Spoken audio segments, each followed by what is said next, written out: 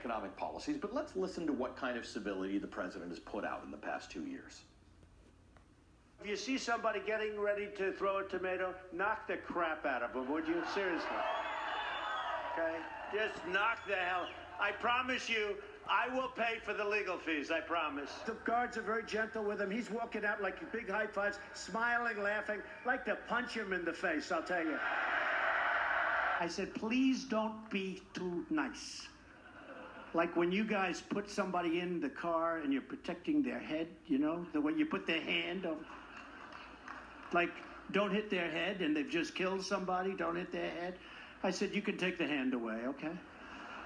I figured. Fake news, CNN. The worst. So you can tell that to your fake friends at CNN. The enemy. The enemy of the people, I call them.